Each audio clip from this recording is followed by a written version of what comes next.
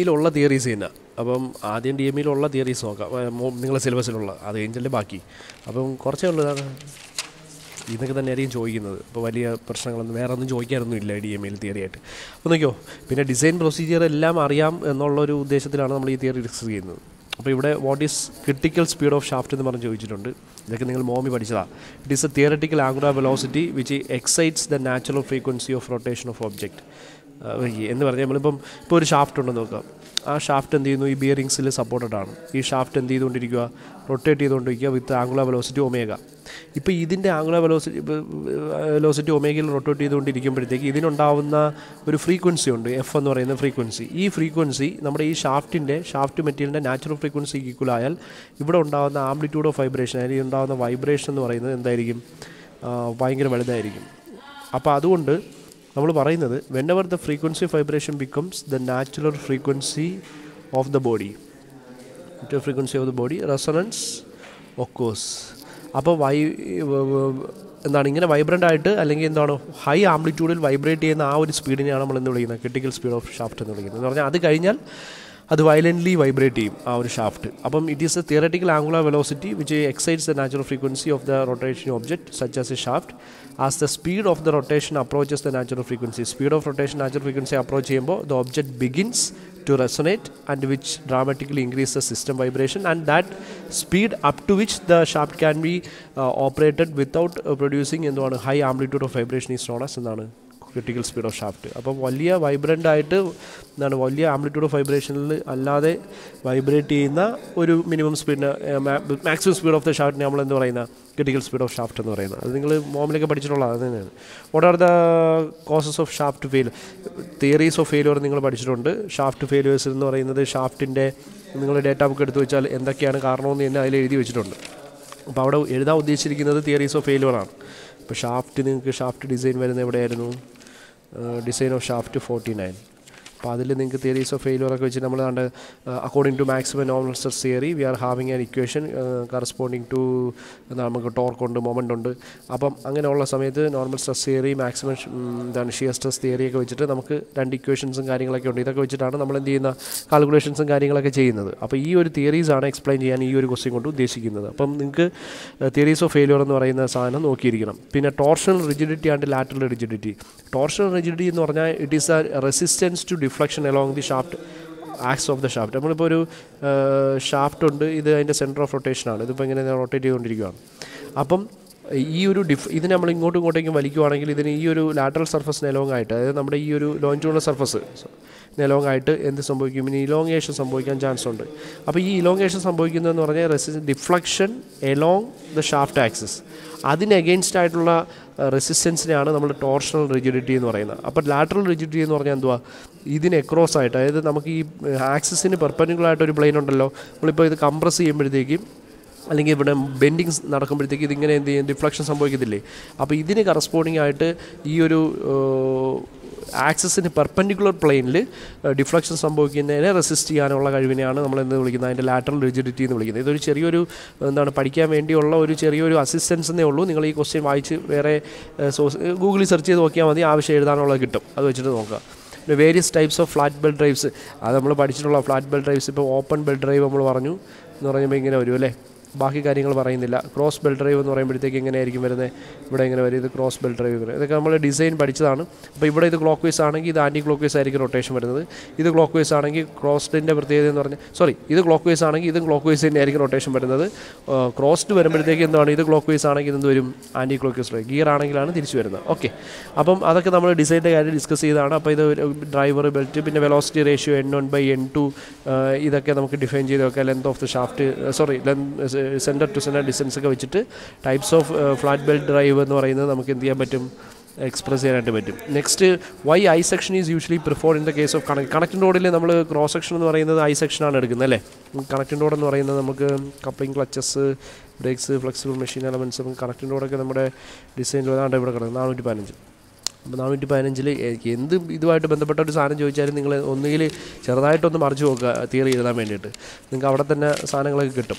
അപ്പോൾ ഇതിന്റെ cross sections circular ഇതൊക്കെ ഉണ്ട്. നമ്മൾ ഐ സെക്ഷൻ ഉപയോഗിച്ചാണ് ചെയ്യുന്നത്. ഐ സെക്ഷന്റെ പ്രധാനപ്പെട്ട ഒരു കാര്യം എന്ന് പറഞ്ഞാൽ ഇപ്പോൾ ഇത് ഐ സെക്ഷനാണ് ഇപ്പം നമ്മൾ എന്ത് ചെയ്യുന്നത്? കണക്റ്റിന്റെ കൊണ്ട് ക്രോസ് സെക്ഷനായിട്ട് ഇതൊക്കെ നിങ്ങൾക്ക് ഡിസൈൻ ചെയ്ത് എന്നുള്ളൊരു ബോധത്തിലാണ് ഞാൻ ഈ പറയുന്നത്. അപ്പോൾ ഇവിടെ ഒരു വൈ ആക്സിസ് ഉണ്ട്.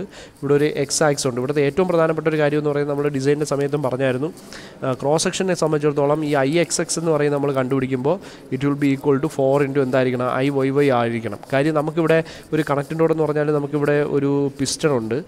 പിസ്റ്റണെ കണക്ട് ചെയ്യുന്ന രീതി ഇതുമായിട്ട് താഴെ കണക്ട് ചെയ്യുന്ന രീതിയിലല്ലേ നമ്മുടെ കണക്റ്റിന്റെ വരുന്നത്? കണക്റ്റിന്റെ കാൽക്കുലേഷൻ വരുന്നത്. ഇങ്ങനെയാണ് കണക്റ്റിന്റെ ഇതിന്റെ കാൽക്കുലേഷൻ വരുന്നത്. അപ്പോൾ ഇതിന് കറസ്പോണ്ടിങ് ആയിട്ട് കണക്റ്റിന്റെ ആക്ട് ചെയ്യുന്ന ഇവിടെ നിന്ന് ഇങ്ങോട്ടേക്ക് പ്രഷർ ഫോഴ്സ് ആക്ട് ചെയ്യുന്നത് ഇവിടെ നിന്ന് ക്രാങ്ക് ഒരു എന്ത് ചെയ്യുന്നുണ്ട് ഒരു ഫോഴ്സ് കൊടുക്കുന്നുണ്ട് അല്ലേ? അപ്പോൾ ഈ ഫോഴ്സിനെ രണ്ട് സ്ഥലത്തും ഹിഞ്ചഡ് ആയിട്ടുള്ള ഒരു കോളമായിട്ടാണ് നമ്മൾ കണക്റ്റിനോടിനെ എന്ത് ചെയ്യുന്നത്? അസ്യൂം ചെയ്യുന്നത്.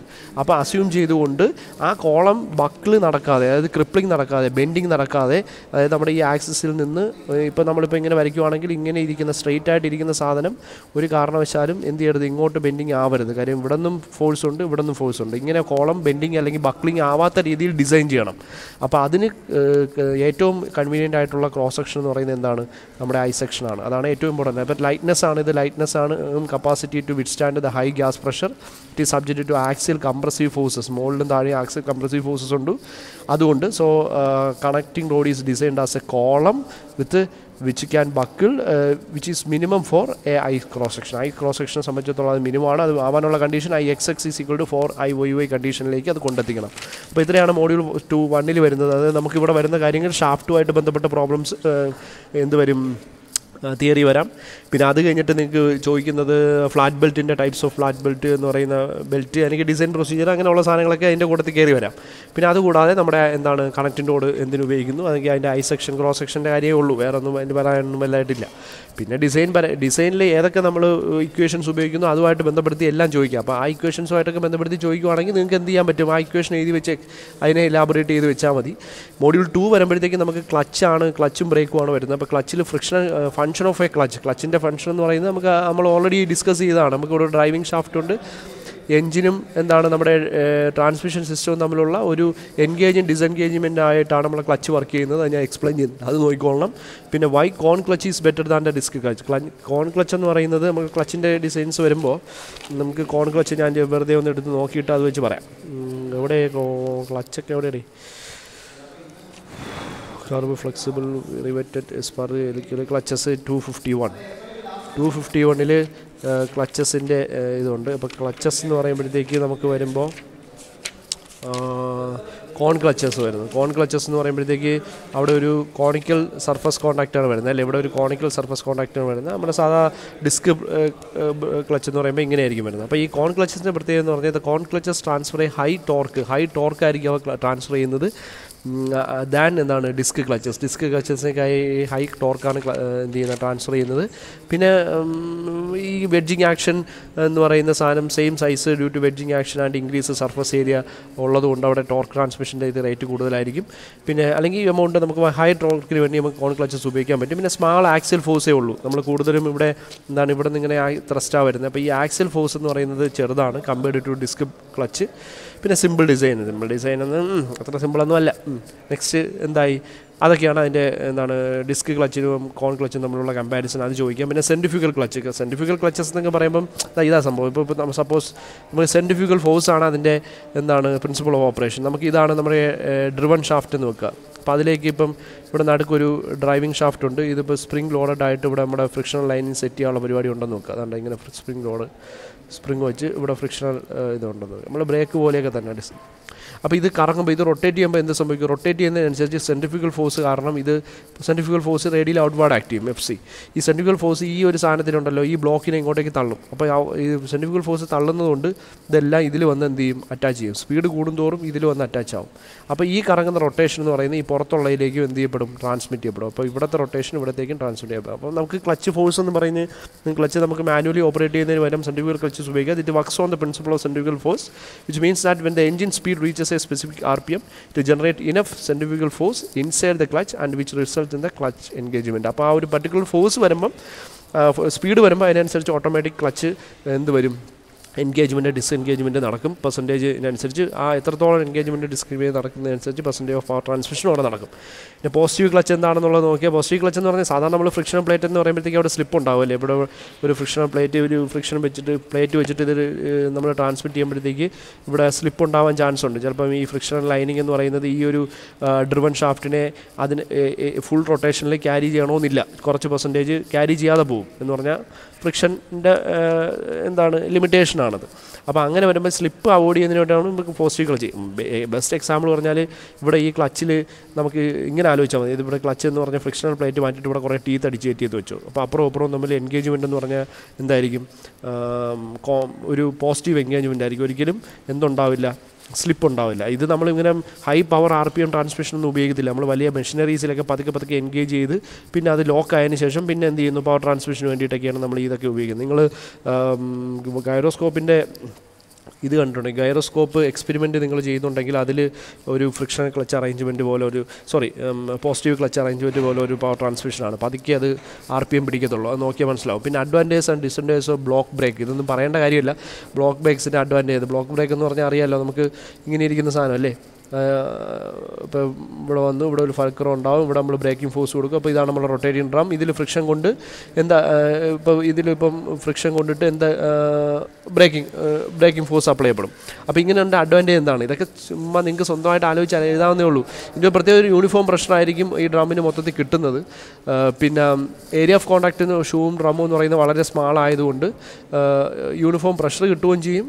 അത് അത് മാത്രമല്ല ഇത് വിയർ അതുകൊണ്ട് കുറവുമായിരിക്കും. ഇത്രയും കാര്യങ്ങൾ അഡ്വാന്റേജ് ഡിസഡ്വാന്റേജ് എന്ന് പറഞ്ഞ് പറയാനായിട്ടാണെങ്കിൽ ഫ്രിക്ഷൻ ഫോഴ്സ് നമുക്ക് എപ്പോഴും ഇങ്ങനെ പാരലായിട്ടല്ലേ ആക്ട് ചെയ്യുന്നത്. അപ്പോൾ ഇത് ഇതിനെ ഡിസ്പ്ലേസ് ചെയ്യാനായിട്ട് നമ്മുടെ ഈ ഒരു ബ്ലോക്ക് ഉണ്ടല്ലോ ഈ ബ്ലോക്കിനെ ഡിസ്പ്ലേസ് ചെയ്യാനായിട്ട് ചിലപ്പോൾ എന്ത് ചെയ്യാം? ഈ ഫ്രിക്ഷൻ ഫോഴ്സ് കാരണമാവാം. അതുകൊണ്ട് അതൊരു ഡിസഡ്വാന്റേജ് ആണ്. വായിച്ചു നോക്കുക ടൈപ്സ് ഓഫ് ബ്രേക്ക് ഒക്കെ അറിയാം. നിങ്ങൾക്ക് നിങ്ങൾ തന്നെ പഠിക്കുന്നതാണ് band brake shoe brake block brake എല്ലാം എഴുതുക നിങ്ങളുടെ ഡേറ്റ ബുക്കിൽ തന്നെ ഉള്ള സാധനങ്ങളാണ്. പിന്നെ മോഡ്യൂൾ ത്രീയിൽ നിങ്ങൾ നോക്കേണ്ട ഹൈഡ്രോഡൈനാമിക് തിയറി ഞാനിത് ഒന്നും പറയുന്നില്ല കാര്യം ഓൾറെഡി നമ്മൾ വീഡിയോസിൽ അവിടെ എന്ത് ചെയ്ത ചർച്ച ചെയ്ത സാധനമാണ് hydrodynamic lubrication hydrostatic lubrication bearing models നമ്മൾ അവിടെ പറഞ്ഞതാണ്. സി എന്ന് പറയുന്നതും ബി എന്ന് പറയുന്നതും. പിന്നെ അടുത്തത് സി എന്ന് പറയുന്ന ബിയറിംഗ് ക്യാരക്ടറിസ്റ്റിക്സ് നമ്പർ എന്ന് പറയുന്നത് എന്തുവാണ്? ബി എൻ ബൈ അതൊക്കെ നമ്മളവിടെ പറഞ്ഞ സാധനങ്ങളാണ്. ഞാൻ വീണ്ടും അത് പറയുന്നില്ല. Design procedure for journal bearing നോക്കി എന്ന് വെച്ചേക്കുക. നിങ്ങൾ പഠിക്കുന്ന സാധനമാണ് ജസ്റ്റ് എഴുതി വെച്ചാൽ മതി. സ്റ്റാറ്റിക് ആൻഡ് ഡൈനാമിക് ലോഡ് അറിയാലോ എഫ് ഡി എന്ന് പറയുന്നത് കണ്ടുപിടിക്കാൻ ഡേറ്റ ബുക്കിൽ ഇക്വേഷൻ ഉണ്ട്. അത് എക്സ്പ്ലെയിൻ ചെയ്താൽ മതി. What is L ten and L fifty L ten എന്നും എൽ ഫിഫ്റ്റി എന്ന് പറഞ്ഞാൽ ലൈഫ് ഓഫ് ബിയറിംഗ് എന്ന് പറഞ്ഞാൽ എന്താ സംഭവം? നമ്മൾ മില്യൻസ് ഓഫ് റെവല്യൂഷനെ അവേഴ്സ് ആക്കാനായിട്ട് എൽ ഒരു ഇക്വേഷൻ ഉപയോഗിക്കുന്നുണ്ട് C by P the whole raise to ത്രീയോ അങ്ങനെ എന്തോ ഒരു ഇക്വേഷനാണ് അപ്പം നിങ്ങൾക്ക് ഇത് ബാൾ ബിയറിങ്ങിന്റെ കേസിൽ റോൾ ബിയറിങ്ങിന്റെ കേസിൽ രണ്ട് ഇക്വേഷൻസ് ഉണ്ട്. നമ്മൾ പഠിച്ചിട്ടുണ്ട്. ഈ എൽ ടെൻ എന്ന് പറഞ്ഞാൽ കുറേ നാൾ കഴിയുമ്പം ഒരു ഡിസൈഡ് സമയം കഴിയുമ്പോഴത്തേക്ക് ഒരു പത്ത് ശതമാനം ബിയറിങ്സ് എന്ന് പറയുന്നത് എന്തായി പോവും? റിലയബിലിറ്റി ഇല്ലാതെ പോകും ഇതെന്ന് പറഞ്ഞാൽ L ten life is calculating with ninety percent reliability ഒരു ആയിരം ബിയറിംഗ് ഉണ്ടാക്കിയാൽ അതിൽ എത്ര? അതിന്റെ നയന്റി പെർസെന്റ് ആയിരം വേണ്ട നൂറ്. നൂറ് ബിയറിംഗ് ഉണ്ടാക്കിയാൽ അതിന്റെ നയന്റി പെർസെന്റ് ആകുമ്പോൾ തൊണ്ണൂറ് ബിയറിംഗ് ആ അത്രയും എൽ ടെൻ ലൈഫ് നമ്മൾ കാൽക്കുലേറ്റ് ചെയ്യുമ്പോഴത്തേക്ക് വർക്കിംഗ് ഉണ്ടാവും എന്ന് പറയുന്നതാണ് എൽ ടെൻ ലൈഫിന്റെ ഒരു സിഗ്നിഫിക്കൻസ് എൽ ടെൻ കണ്ടുപിടിക്കുക ലൈഫ് കണ്ടുപിടിക്കാനുള്ള ഇക്വേഷനൊക്കെ നിങ്ങളുടെ അതിനകത്തുണ്ട്. ഇപ്പോൾ എൽ ഫിഫ്റ്റി ആണെങ്കിൽ fifty percent reliability ഉണ്ടാകത്തുള്ളൂ. After stated amount of time only 50% of group of identical bearing will not get have developed yet dev- developed metal fatigue. അപ്പം മൊത്തത്തിൽ നൂറ് ബിയറിങ്സിൽ അമ്പത് എണ്ണത്തിന് ഇപ്പോഴും ഫെറ്റിക് ഒന്നും ഉണ്ടാവത്തില്ലായിരിക്കും. സ്റ്റിൽ കണ്ടിന്യൂ ആയിട്ട് ഒരു റേറ്റഡ് ലൈഫ് കഴിഞ്ഞതിന് ശേഷം. അതാണ് എൽ ഫിഫ്റ്റി കൊണ്ട് ഉദ്ദേശിക്കുന്നത്. അത് കണ്ടുപിടിക്കുന്ന മെത്തേഡും കാര്യങ്ങളും ഇക്വേഷൻസ് ഒക്കെ അതിലുണ്ട് മൊഡ്യൂൾ ഫോറിൽ ലാ ഓഫ് ഗിയറിംഗ് നോക്കുക. നിങ്ങൾ മോമി പഠിച്ചതാണ്. Modes of failure of gear tooth എന്ന് പറയുന്നത് surface fatigue wear plastic flow breakage അങ്ങനെയുള്ള സാധനം സ്വന്തമായിട്ട് എഴുതാവുന്നതേ ഉള്ളൂ. സിഗ്നിഫിക്കൻസ് ഓഫ് ഡൈനാമിക് ഫാക്ടർ എന്ന് പറയുന്നത് നോക്കിക്കോളുക സി എന്ന് പറയുന്ന സാധനം ഗിയറിന്റെ കേസിൽ ഡൈനാമിക് ഫാക്ടർ എന്ന് പറയുന്ന സാധനം നോക്കിക്കൊള്ളണം. പിന്നെ അടുത്ത interference and undercutting under ഇന്റർഫറൻസും അണ്ടർ കട്ടിങ്ങും മോമിൽ പഠിച്ചാൽ അത് നോക്കിക്കൊള്ളുക കമ്പയർ ഹെലിക്കൽ സ്പർ ഗിയർ വ്യത്യാസം നോക്കിക്കൊള്ളുക അഡ്വാന്റേജ് ഡിസ്റ്റന്റായി നോക്കുക. Strength of helical gear strength of helical gear നമ്മൾ എങ്ങനെ കാൽക്കുലേറ്റ് ചെയ്യുന്നു എന്നുള്ളത് അത് നോക്കിക്കൊള്ളുക എന്ന് പറഞ്ഞാൽ ഫോഴ്സ് നമ്മൾ കാൽക്കുലേറ്റ് ചെയ്യുന്നില്ല. ആ സാധനം തന്നെയാണ് equivalent number of teeth Z D എന്ന് പറയുന്നത്. അതായത് നമ്മുടെ സ്പർഗിയർ ഇക്വലൻ ഇക്വലന്റിന് കറസ്പോണ്ടിങ് ആയിട്ട് ഇസഡ് ഡി കാൽക്കുലേറ്റ് ചെയ്യുന്ന ഇക്വേഷൻ ഡേറ്റ ബുക്ക് നിന്ന് കിട്ടും. അത് കാൽക്കുലേറ്റ് ചെയ്യുക. ഹീറ്റ് ജനറേറ്റഡും ഹീറ്റ് ഡെസിപ്പേറ്റിന്റെ ഇക്വേഷൻസ് അറിയാം അത് തമ്മിലുള്ള കമ്പാരിസൺ നോക്കുക. ഇപ്പോൾ ആർട്ടിഫിഷ്യൽ കൂളിംഗ് വേണമെങ്കിൽ ഹീറ്റ് ജനറേറ്റർ എന്ന് പറയുന്നത് കൂടുതലും ഹീറ്റ് ഡെസിപ്പേറ്റഡ് കുറവായിരിക്കും എന്നുള്ളതൊക്കെ വെച്ചിട്ട് നമ്മൾ അത് ചെയ്യും. പിന്നെ അടുത്ത വേണ്ടതെന്ന് പറയുന്നത് മോഡ്യൂൾ ഫൈവ് കണ്ട? ഇവിടെ ഓരോന്ന് ശല്യം വന്ന് നിൽക്കുന്ന കണ്ട? മോഡ്യൂൾ ഫൈവ് എന്ന് പറയുന്നത് എന്നതാണ്? മോഡ്യൂൾ ഫൈവിൽ നമുക്ക് വേണ്ടത് അത് വളരെ സിമ്പിൾ സാധനങ്ങളാണ്. ബിവൽ ഗിയറിന്റെ ടൈപ്സ് നോക്കണം. പിന്നെ എന്ന് പറഞ്ഞാൽ നിങ്ങൾ ഡെൽറ്റ വൺ ഡെൽറ്റ ടു കണ്ടുപിടിച്ച് പിന്നെ തീറ്റ വെച്ചിട്ട് ചെയ്യാറുണ്ടല്ലോ. തീറ്റ വെച്ചിട്ട് ആക്സ് ആംഗിൾ വെച്ചിട്ട് റൈറ്റ് ആംഗിൾഡ് ബ്യൂൽ ഗിയർ ഉണ്ട് അക്യൂട്ട് ഉണ്ട് ഒപ്റ്റ്യൂസ് ഉണ്ട് ആ സാധനം. ക്ലാസിഫിക്കേഷൻ ഓഫ് ബിയൽ ഗിയേഴ്സ് അത് തന്നെയാണ് സംഭവം. പിന്നെ characteristics and design procedure for bevel gears അപ്പോൾ ഇത്രയും കാര്യങ്ങൾ നിങ്ങളെ എന്തായിട്ട് നോക്കുക ഷോർട്ട് ആൻസർ ആയിട്ട് നോക്കുക. സത്യം പറഞ്ഞാൽ ഇതൊക്കെ നിങ്ങളെ സിലബസിലുള്ള സാധനങ്ങൾ തന്നെയാണ്. അവിടെ ഷോർട്ട് ആൻസർ എന്റെ എഴുതി വെച്ചിട്ടുണ്ട്. ഇത്രയേ പഠിക്കാനുള്ളൂ. ബാക്കിയൊക്കെ ചോദിച്ചാൽ ഓൾ ദ ബെസ്റ്റ്